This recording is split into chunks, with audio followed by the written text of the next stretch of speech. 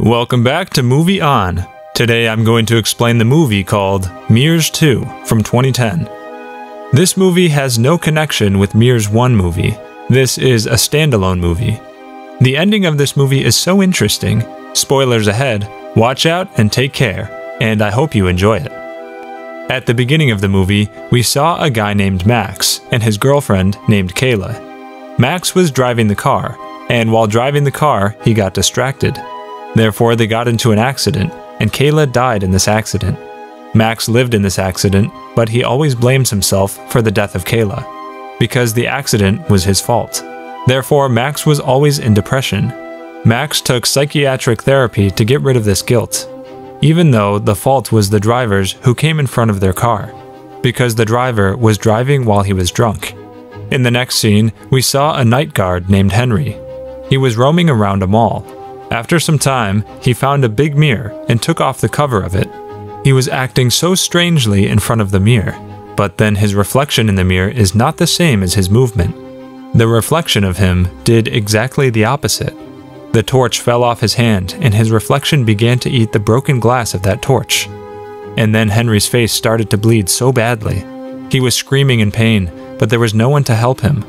After that, we saw Max once again, his father called him and told him that the night guard of the mall had eaten glass, and he does not want to do this job anymore.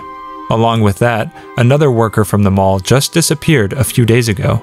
We couldn't find him anywhere. Max's father wants to open the mall as soon as possible. That's why he asked his son, Max, to do the duty of a night guard for a few days. Max agreed with his father because he needed that job because of his depression in the next scene, we saw that when Max was coming to the mall, he met a girl. She was putting up posters of her missing sister, and she was that missing girl who went missing from the mall that Max's dad just told him about. Max went to the mall, and his dad introduced him to three people. One of them was Jenna, and she was the head buyer of the mall. One of them was Keller, and he was the store manager of that mall. Lastly, Ryan, he was the vice president of that mall. After meeting everyone, Max went to the kitchen but then he saw a woman standing behind him in the mirror.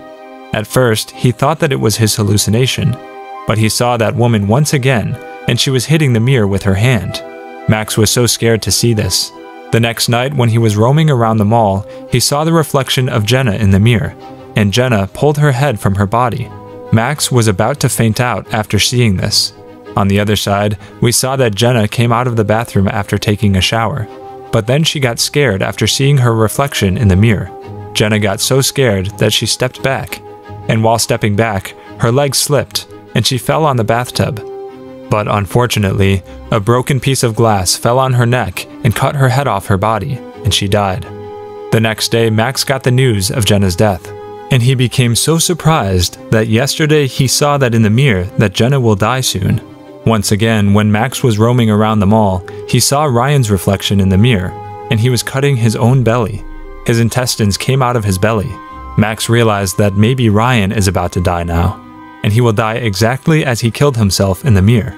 On the other side, Ryan was cooking in his kitchen, and when he was going to the dining table with the food, he saw that there was no reflection of himself in the mirror. He got so terrified after seeing this and started walking towards the mirror. But suddenly, his reflection appeared in the mirror. He was shocked after seeing this. He was wondering that how this is possible.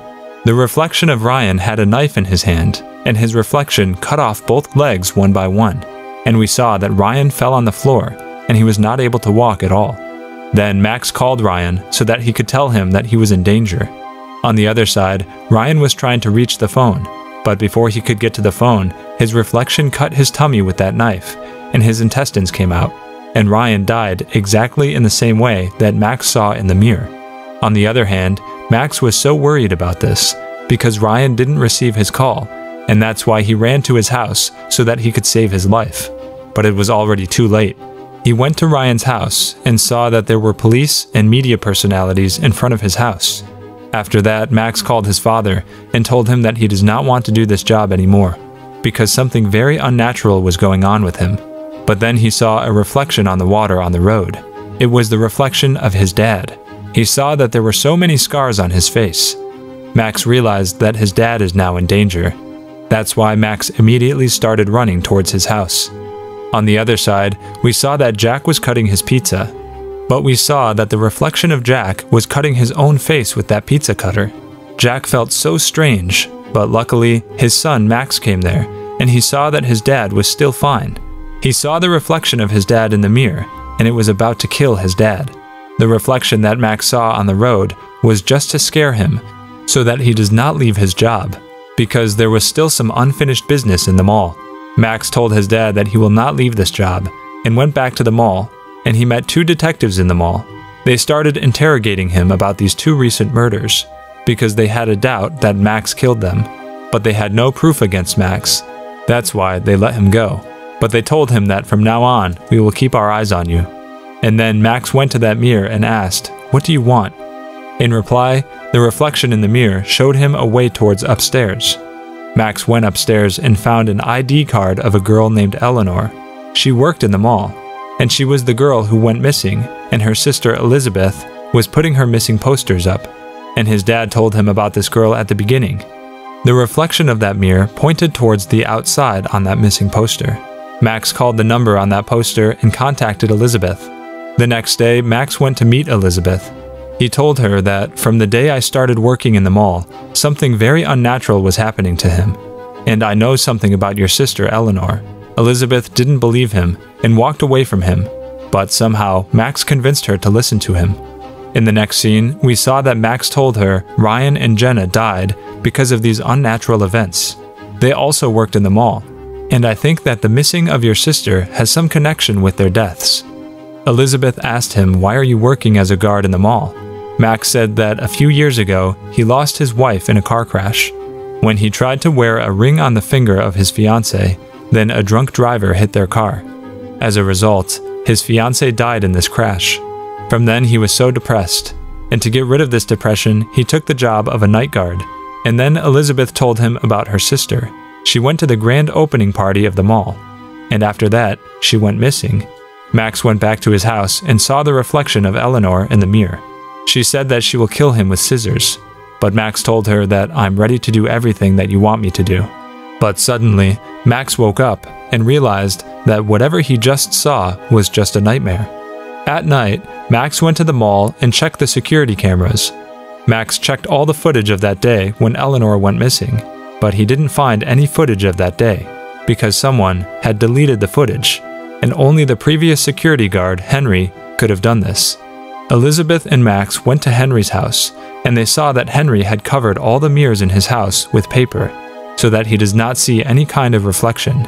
Suddenly, Henry came out, and his face was totally destroyed because of the glass his reflection ate that night in the mall. Max and Elizabeth asked him about Eleanor, but he didn't want to tell them anything. But Max entered his house forcefully and Henry told him that I don't know what happened to Eleanor, but I have deleted that footage because Keller told me to do so. And then Max and Eleanor realized that Keller was behind the reason for Eleanor being missing. They also realized that Henry is trying to hide something about the basement of the mall. That's why they immediately went to the basement and tried to find some clues.